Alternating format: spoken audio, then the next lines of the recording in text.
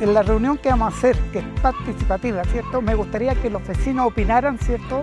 ¿Qué es lo que queremos hacer una vez que se entuba el canal? Es importante que los vecinos se involucren porque esto es para toda la comunidad.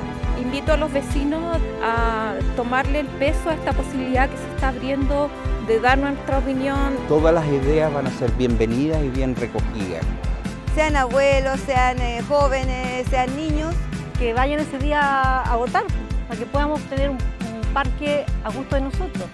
Claro que sí, están todos los vecinos invitados. Por favor, vengan, es importante su opinión. Porque de la medida que opina, ¿cierto? Va a estar más contenta, va a cuidar el espacio. Súmense a construir y a resguardar este parque hortuzano.